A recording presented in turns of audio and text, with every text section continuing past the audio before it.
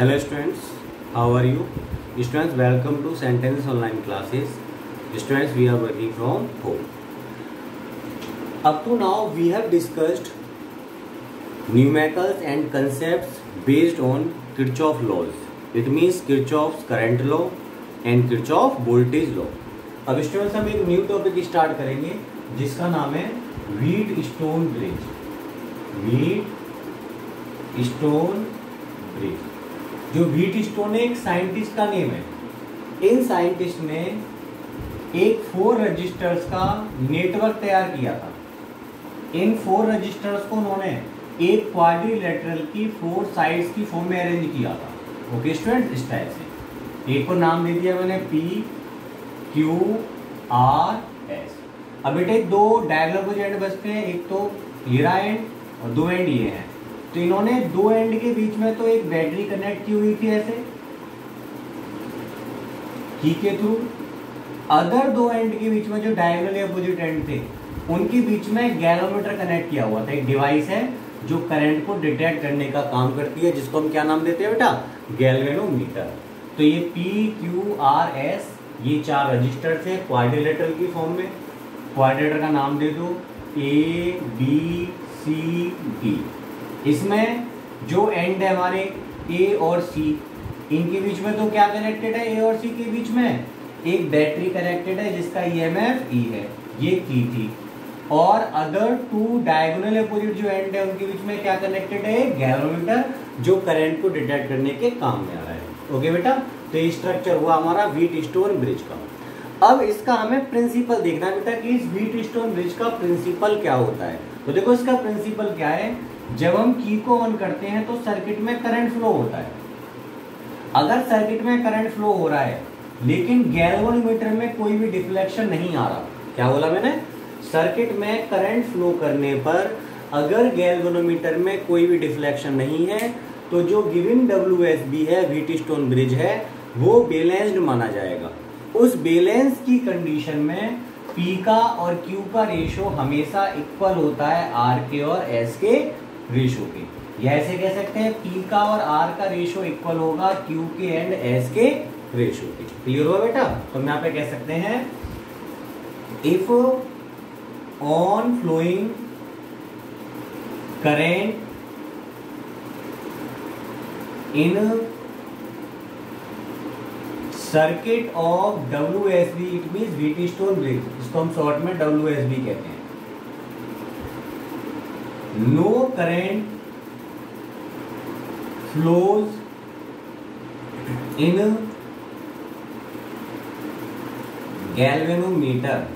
Then WSB is balanced.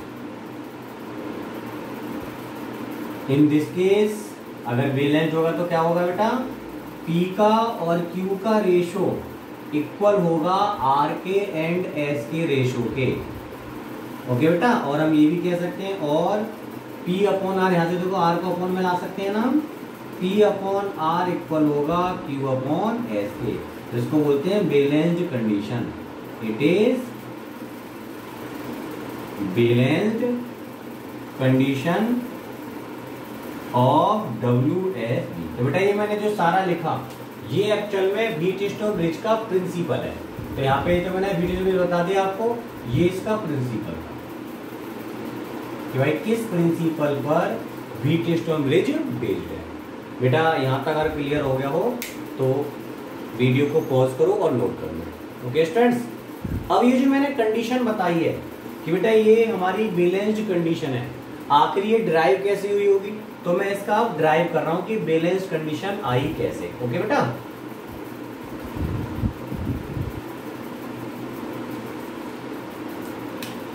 अब देखो, इसको प्रूव करते हैं बैलेंस कंडीशन तो देखो, आपने जो सर्किट लिया था, इस सर्किट में मैंने माना भाई, यहाँ से सेल से करंट आया I one plus I two okay अब देख रहे हो के के सी एल के हेल्प से यहाँ से करंट दो जगह डिस्ट्रीब्यूट होगा।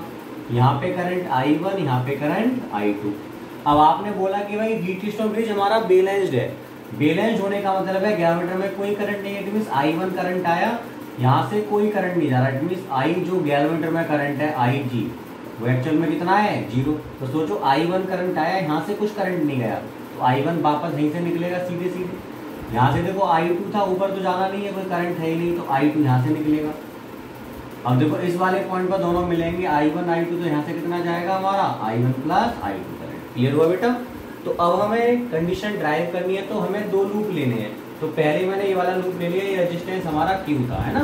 तो पहले चलते हैं in loop A B D A in loop A B D A by Kirchhoff voltage law तो पहले बेटा ए से बी चलो देखो हम करंट के अलोंग जा रहे हैं पोटेंशियल ड्रॉप होता है तो minus K I one P अब आप चलिए बी से डी करंट के अलाउंग तो चल रहे हैं बट करंट तो है ही नहीं, चलो फिर भी माइनस लगा लो। करंट कितना है? Zero into G. उसके बाद हम बी से ए आ रहे हैं तो देखो हम ऊपर जा रहे हैं करंट नीचे है करंट के अपोजिट जा रहे हैं पोटेंशियल इंक्रीज होता है। तो ये आएगा बेटा I two Q equal to zero यहाँ से मिला minus K I one P equal to minus K I two Q minus से minus cancel equation number first इसके बाद नेक्स्ट हम चलते हैं। In loop B C D B in loop B C D B by Kirchhoff voltage law. तो बेटा चलो पहले हम चलेंगे बी से सी करंट के अलोंग जा रहे हैं। तो माइनस में आएगा आई वन आर फिर चलेंगे सी से डी करंट के अपोजिट जा रहे हैं पोटेंशियल बढ़ेगा। प्लस का आई टू इंटू एस अब जाओगे डी से बी ऊपर करंट नीचे। तो प्लस का आएगा बट करंट तो है ही नहीं आई जी कितना है? Zero into G equal to में ज़ीरो तो minus K I one R equal to minus K I two S minus minus क्या हो गया? प्लस इक्वेशन नंबर अब आप इक्वेशन नंबर वन को टू से डिवाइड करो। देखो वन को टू से डिवाइड करेंगे तो क्या मिलेगा हमें? I one P upon I one R equal to I two Q upon I two S I one से आई टू आई टू से आई टू कैंसिल तो क्या मिला बेटा हमें? P upon R equal to Q upon S और हम कह सकते हैं P upon Q equal to R upon S बेटा ये क्या थी हमारी? बैलेंस कंडीशन तो आपने देखा जब करंट में यहाँ पे ज़ीरो लेके चल रहा हूँ तो ऑटोमेटिक पी और क्यू का रेशो आर और एस के रेशो के बराबर आ रहा है। ओके बेटा? Now pause the video and note it down students now W पर एक क्वेश्चन डिस्कस करते हैं। आपको ये डब्ल्यूएसबी दे रखा है, जिसमें यहाँ पे एक कार्बन रजिस्टर है कलर कोड से इसको हमें फाइंड आउट करना पड़ेगा। तो आपसे बोला है कि अगर ये बैलेंस्ड है तो आर की वैल्यू क्या होगी? तो पहले बेटा हम फ़र्स्ट पार्ट की बात करते हैं। सेकंड पार्ट में कहा था कि अगर बीसी में और सीडी में रेजिस्टेंस को इंटरचेंज कर दें तो बताओ कि आर पर हमने एक कार्बन रजिस्टर लगा दिया। तो बताओ उसका कलर कोड क्या होगा उस कार्बन रजिस्टर का? इनको तो आपस में ना इंटरचेंज कर दिया। और यहाँ पे कार्बन रजिस्टर लगा दिया, उसका कलर कोड पूछा है। ओके स्टूडेंट पहले पार्ट ए पर कंसंट्रेट करते हैं। फॉर आर सी डी तो स्टूडेंट यहाँ पे आर सी डी में क्या लगा हुआ है? Colour code R R O तो आपको है रेड रेड ऑरेंज ये कलर कोड दे रखा है। तो आप जानते थे रेड के लिए हम डिजिट क्या बोलते थे? टू सेकंड रेड के लिए भी क्या आएगी डिजिट बेटा? टू तीसरे कलर के लिए हम क्या लगाते थे? मल्टीप्लायर ऑरेंज के लिए जो हमारा मल्टीप्लायर होता है, वो होता है बेटा थ्री तो क्या निकल कर आया?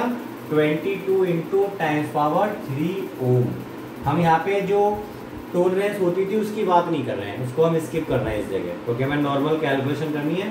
Two two into times power three बेटा ये आया। तो आपसे बोला है कि ब्रिज अगर बेरेंज है तो आर बताओ। तो हमको दे रखा है since W S B is balance so हम कह सकते हैं two R upon R equal to two R upon ये कलर कोड वाला क्या था हमारा? आर डी सी लिखे रहे हैं फ़िलहाल सी डी लिख दो आप। आर सी डी तो आर से आर कैंसिल यहाँ पे क्या बचा बेटा? Two two R upon R C D की वैल्यू कितनी है? Twenty two into times power three two से टू भी कट जाएगा वन टाइम्स तो बेटा हमारा जो आर निकल कर आया, वो हुआ twenty two into times power three ohm तो बेटा इस तरह से फ़र्स्ट पार्ट इसका खत्म हो गया। अब सेकेंड पार्ट की बात करते हैं। सेकेंड पार्ट के लिए क्या कहता पहले यहाँ तक आप इसको पॉज करो और नोट करो। अब सेकंड पार्ट में कहा था कि अगर हम इन दोनों को आपस में इंटरचेंज कर दें इसको हम एक काम करते हैं, इस रेजिस्टेंस को मैं माने ले रहा हूँ, यहाँ पर जो आर सी डी है, कुछ देर के लिए इसको मैं आर डैश बोले दे रहा हूँ। ओके स्टूडेंट्स तो अब की बार हमने इन दोनों को इंटरचेंज किया इट मीन जो टू आर था, वो तो मैंने यहाँ लगा दिया इंटरचेंज कर दिया जस्ट टू आर क्योंकि उन्होंने बोला था इन दोनों में बी सी और सी डी को इंटरचेंज करना है। यहाँ पहले कलर कोड वाला आर डैश था वो मैंने लगा दिया बेटा यहाँ पे। और इसने बोला है कि जो आर था, उसकी जगह पर हमने एक रेजिस्टेंस लगा रखा है इस टाइप से। ये रेजिस्टेंस लगा हुआ है इतना यहाँ पे। नेक्स्ट रेजिस्टेंस है। तो देखो यहाँ पे कलर कोड के ऊपर है। मैंने कलर कोड यहाँ से तो स्टार्ट किया था। रेड रेड ऑरेंज तो यहाँ पर भी इधर से स्टार्ट करना, इस टाइप से। तो हमें पता रहेगा भाई हम किस तरह से कलर को स्टार्ट करना है। जिससे एक जैसा सीक्वेंस बना रहेगा। तो अब बात करते हैं यहाँ पे बेटा इंटरचेंज हमने कर दिया। और आपसे बोला है कि अगर यहाँ पे ये बैलेंस्ड है तो आप कलर कोड बताओ कि कलर कोड इसका क्या होगा। आर के लो निकाल चुका हूँ मैं twenty two into ten power three हो इसे में याद रखना है। तो अब बी में अगर हम बात करें, इस वाले केस में दे रखा है as given W S B is balanced then उस केस में क्या होगा कि जो टू आर है अपॉन इस कलर कोड वाले को मैं आर डबल डैश मान ले रहा हूँ। R double dash equal to change कर दिया बेटा मैंने ये? Equal to R dash upon two R तो यहाँ से हमें एक्चुअल में फाइंड आउट क्या करना है? R double dash find out करना है हमें। तो आर डबल डैश क्या आएगा? Two R into two R upon R dash तो two R into two R आपने देखा था आर डैश इसी के बराबर था ना? आर के जस्ट तो इसकी वैल्यू कितनी थी? आर थी, दोनों बराबर थे। तो आपका आर से आर कैंसिल हो गया था बेटा, क्या निकल कर आया टू टू जा फोर आर तो फोर इंटू आर की वैल्यू कितनी थी हमारी? Twenty two into tens power three it means eighty eight into tens power three oh अब बेटा यहाँ पे जो एट होता है तो क्या पता था ब्लैक का होता था ज़ीरो वाइट का होता था नाइन वाइट के ऊपर आता था ग्रे कलर तो उस ग्रे कलर का होता है एट तो बेटा जो इसका कलर कोड आया वो क्या होगा? ग्रे ग्रे, थर्ड किसके लिए है? ऑरेंज के लिए। तो ये हमारा जो कार्बन रजिस्टर हमने यूज़ किया था, उसका कलर कोड है ग्रे ग्रे एंड ऑरेंज तो हम कह सकते हैं ड्रॉ में डिटेल लेके जाओ यहाँ पर। So colour code for carbon resistor at place of जो यहाँ पे आर था उसकी जगह पर। तो क्या हो गया बेटा ये? Grey grey orange okay student ये हमारा आंसर था? Now pause the video and note it out